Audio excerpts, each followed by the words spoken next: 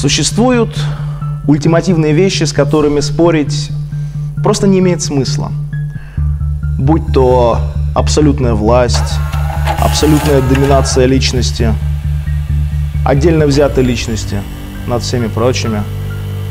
Но есть личности, личности, которые, знаете, заслуживают отдельного разговора.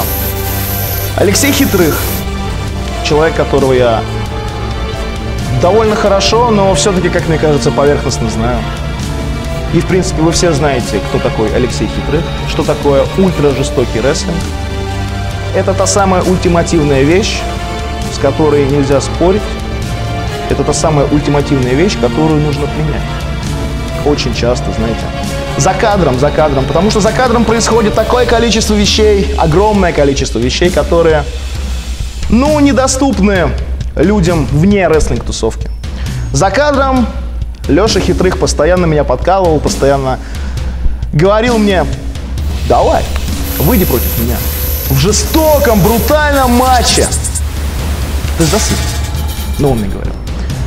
И, честно сказать, выйти в ринг с Алексеем Хитрых на его территорию, на жестокий, на ультра жестокий рестлинг и выйти просто на своих двоих с этого ринга, может быть, может быть это возможно, но право дело, мне всегда это было страшно.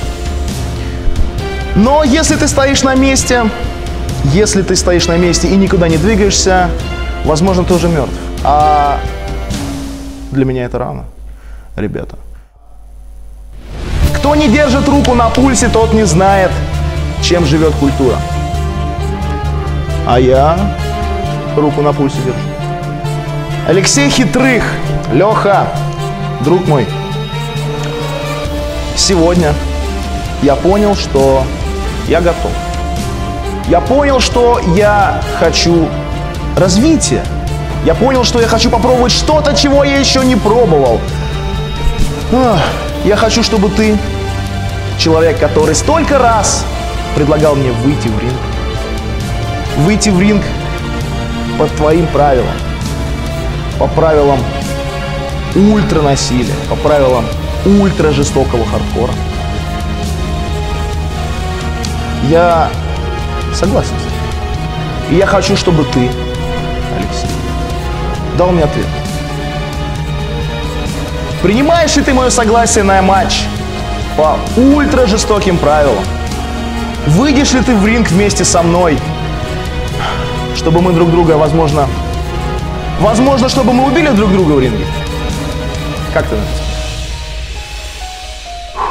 Я думаю, что я готов. Я знаю, что ты готов был всегда. Я жду ответа, Леша. Я жду ответа. Я хочу этот матч. Хочу этот матч на ударе.